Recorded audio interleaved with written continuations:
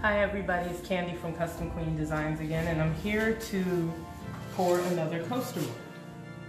What Rory is showing you is one that I poured last night. Um, this is the Belle mold that I got from ellekcreative.com and I just need to put a flood coat on this one but tonight I'm going to be pouring the Gizelle. Where you can get the molds, it'll be in the description, just like it was the other video. Right, and this one is called Gizelle. This is Belle, this is Gizelle. So I'm gonna pour Gizelle tonight. And tonight I'm gonna be using gold alcohol ink from Pinata. I'm going to be using fairy dust from Mica Manias. That's gonna be my main color. I'm gonna be using Passion, which is chameleon mica, also from Mica Manias. And what's a chameleon mica? It's like a color shift, changes color depending on where you it. I'm gonna see how it works as a kind of marbling effect going through the fairy dust. All right. So let's get started. I'm gonna go ahead and mix up my colors first. And mix up some of this passion.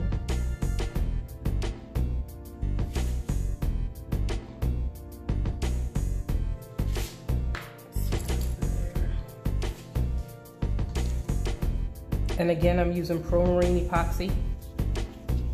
The description for it, the um, link for it will be in the description. Oh wow, this is cool.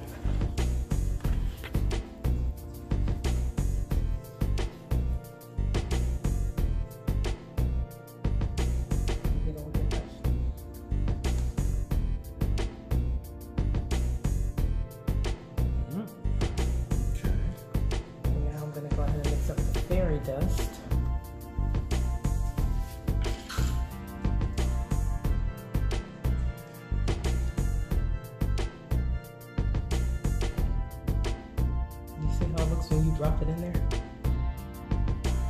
That, that kind of mm-hmm. bluish color comes up. I'm gonna get this mix. Fairy dust is basically gonna be the base color that I'm going to be using. And I'm going to mix in some of the passion along with some of the gold alcohol ink.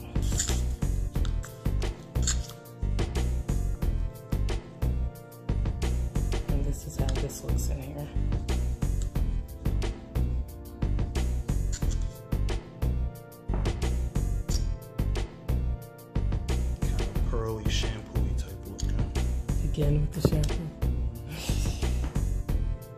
Me add a, just a little touch more. Yeah. I'm gonna have to re-up my fairy dust and I can see that already. I use it a lot. Haven't used it on the cup yet, but that's coming soon too. So get this mixed up.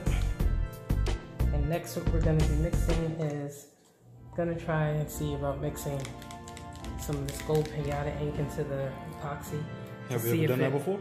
You said see about, like you don't. Well, I've never done it before, but I wanna see if it'll swirl better being in the epoxy than if um I do it just by putting it down there.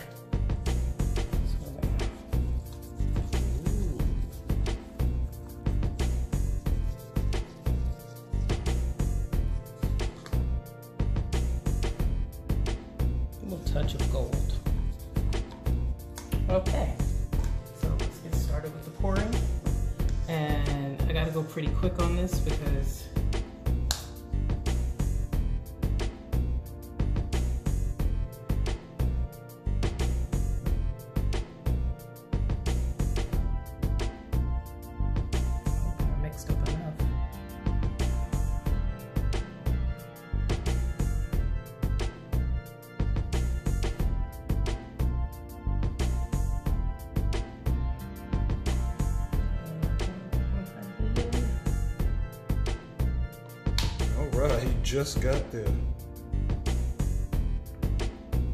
Gotta make sure it all spreads poured- out. Yeah, you did pour a little bit heavier over here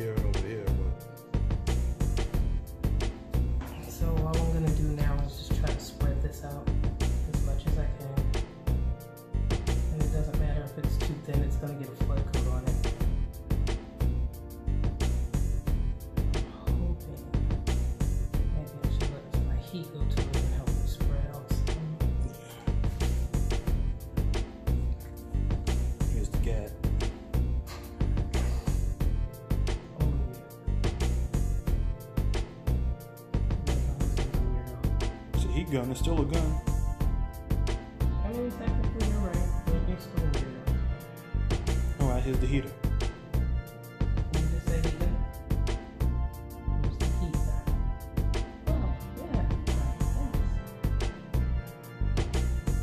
piece. Hmm? Burner. Hmm? Ah.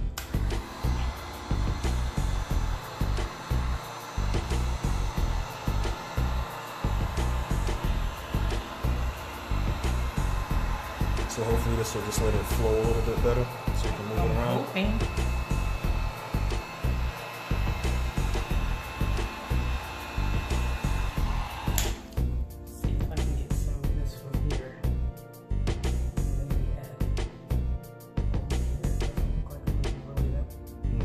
something that's got a little bit more of like a, a scoop if you're gonna do that. What if you pour like that that one of those other colors like in the middle of the white? That'll push it out. Won't? That's not the design. Cause that's not the design she's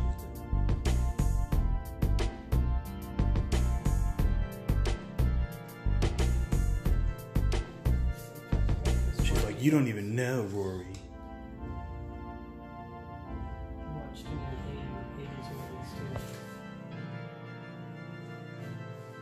up in the 80s. Telling your age. Mm, I ain't ashamed my age. He's 65, you guys. 65. August 1st, 1977. Equals 65. But hey, you look good for your age. Math class was in Camden's class. Shut up.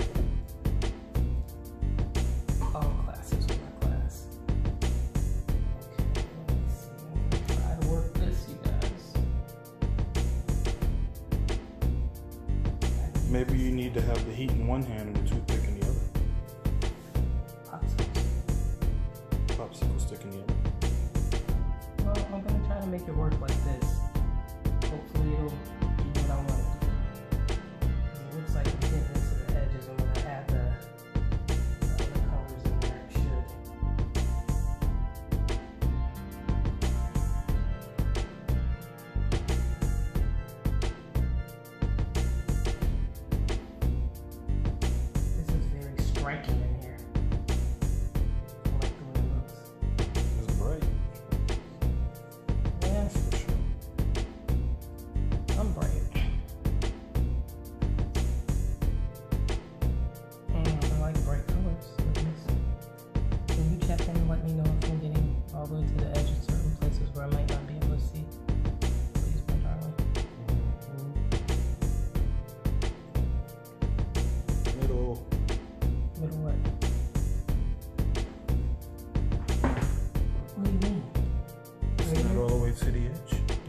here.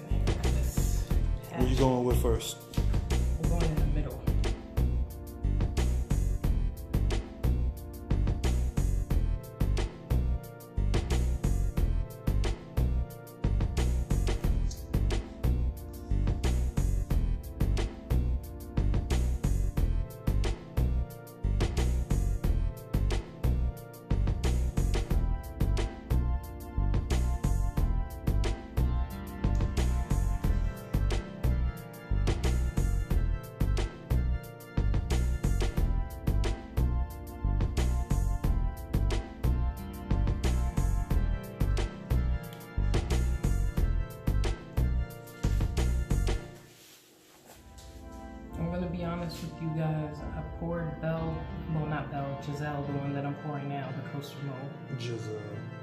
I poured it the other night and I was a bit intimidated by it.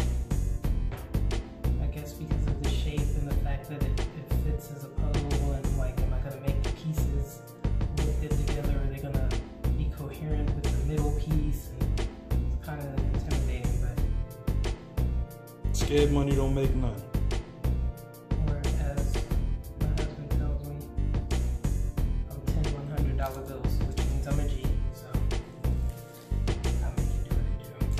Letter of alphabet.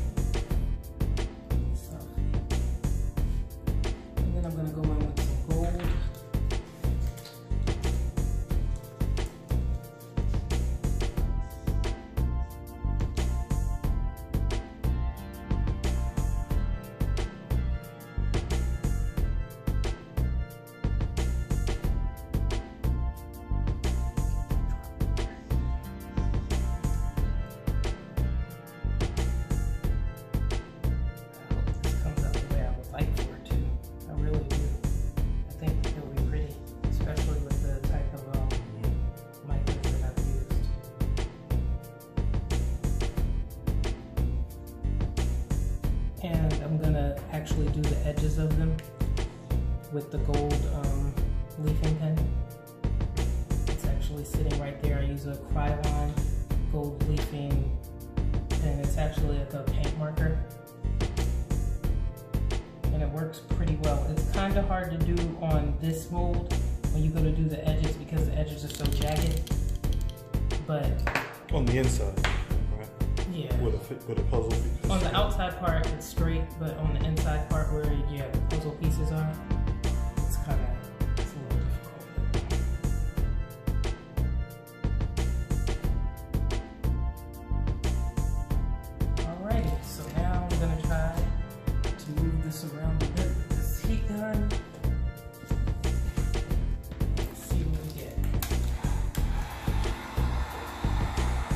Are you on high, medium, low? No, right now I'm on medium.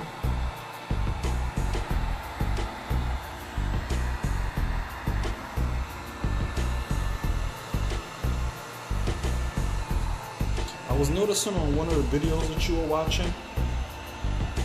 Um, I think it's the lady from LK.com when she was doing it, the lady who made the molds. Yeah, Yes. she she had um She had a, an attachment for yeah her, which is so cool because I made the air like more directed, you know, right? Yeah. You gotta grab one of those for you.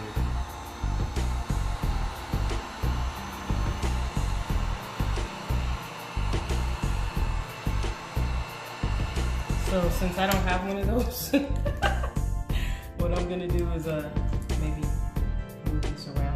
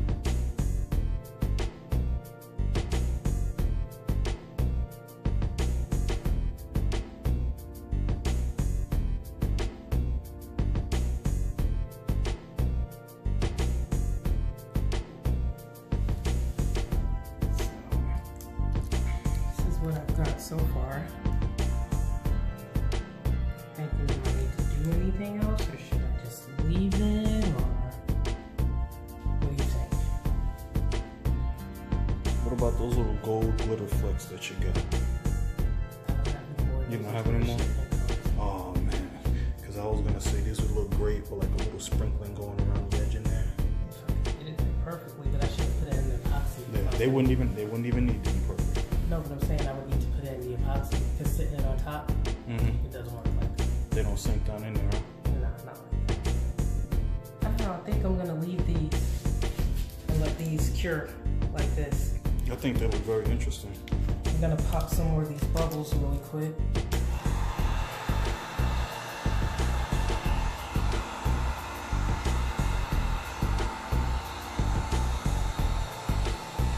And that looks like a fisheye there on, that one. Oh no, it just filled in on its own. That's cool. I got a bubble uh,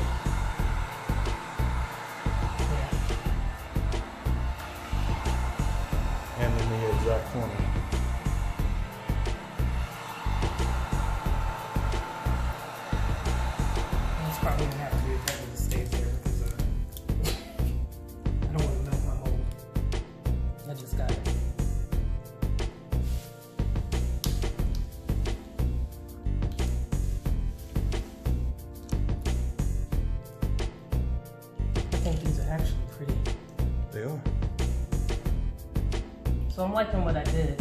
Um, I think that once the gold gets on, once these uh, cured and the gold gets on the edges, after I do the flood coat, the way that they, the different angles that you look at it from, it's like, wow, you can see the, the color popping out and it's really pretty.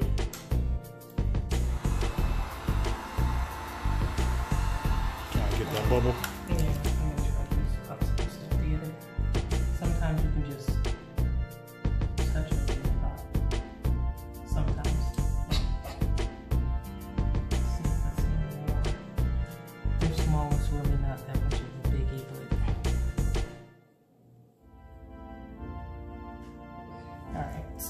I'm just gonna let these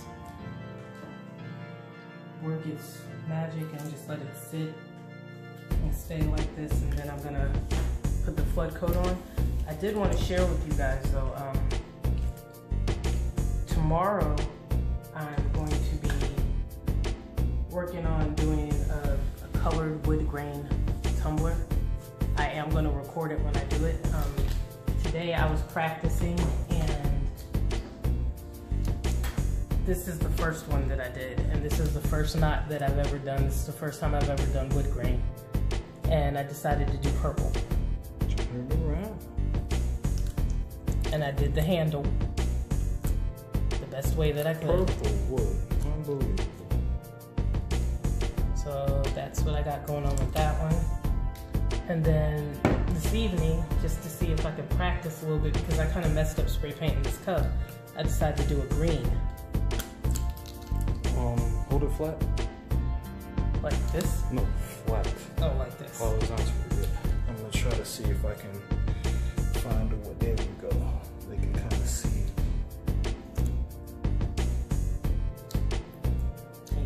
Mm-hmm. And then I did two knots on this one because I was practicing. And then that's the other one. Looks pretty, pretty, pretty, pretty good. So tomorrow, Gonna do this one. I've already uh, I alcohol inked it. Um, I used the Marabu turquoise alcohol ink and the Marabu rainbow additive from that I got from Mr. Nola's Glitters, and this is the result of it. Hold it flat so you can get that shimmer. Can you see it? So what I'm gonna do is tomorrow I'm gonna make a video of when I put the decals on here. Um, I'm gonna go ahead and epoxy it tonight so that I'll be able to put the decals on it tomorrow. And we're gonna spray paint it white and then we're gonna do the pink wood grain over this and then pull up the decals and see what we have. Yeah, I'm doing something outside the box I've never done before. And just so you know, these are the bells from the other night. See,